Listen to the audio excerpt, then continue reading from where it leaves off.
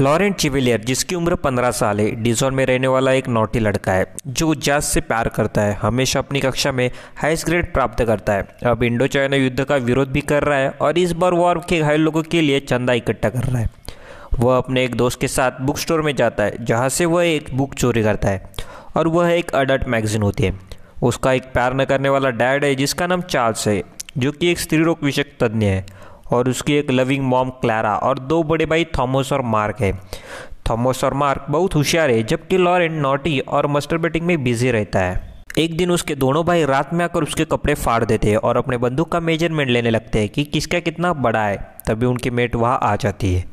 Laurent अपनी mom Clara को एक प्रेमी के साथ देखता है, तब वह परेशान हो जाता है और अपने डार्ट चार्ल्स को बताने के लिए दौड़ता है। चार्ल्स अपने प्रैक्टिस में व्यस्त है और गुस्से से उसे वहाँ से निकाल देते हैं।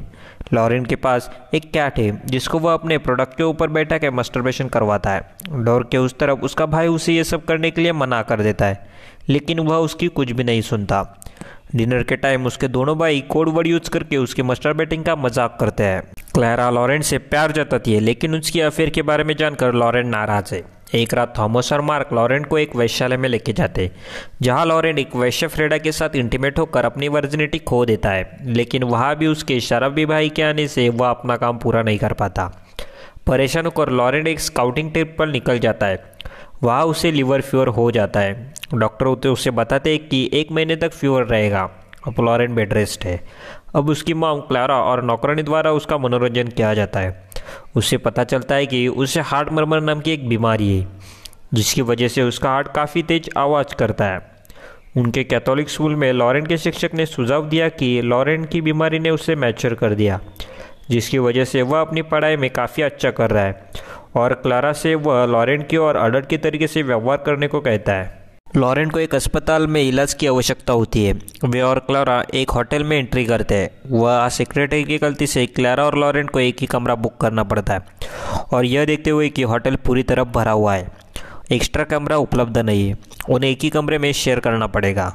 लॉरेंट होटल में दो लड़कियाँ हेलन और डिफनी से दिलचस्पी लेता है और वह अपनी माँ को नहाते हुए देखता है। इस पर क्लारा उसे थप्पड़ मार देती है। लॉरेंट हेलन के उसके साथ इंटीमेट होने को कहता है। हेलेन कहती है कि वह अभी सेक्स के लिए रेडी नहीं है।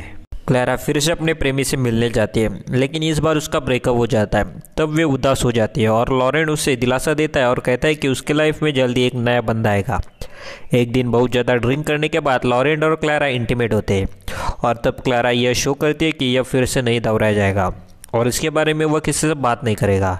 लेकिन वह पश्चाताप के साथ हेलन के रूम में जाता है। और उसके साथ सेक्स करने को कहता है। लेकिन हेलन उसे वहाँ से भगा देती है।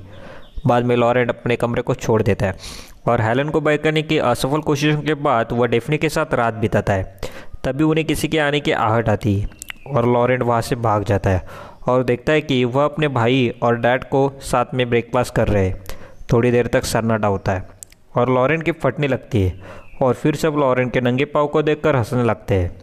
लॉरेंट भी उनके ऊपर शामिल हो जाता है और यहाँ पर मूवी का एंड होता है। दोस्तों, अगर ये मूवी एक्सप्लेन वीडियो आपको अच्छी लगी है तो वीडियो को लाइक और चैनल को सब्सक्राइब करना मत भूलना। दोस्तों, मिलते हैं अगले मूवी एक्सप्लेन वीडियो में। तब तक के लिए good bye be safe and be healthy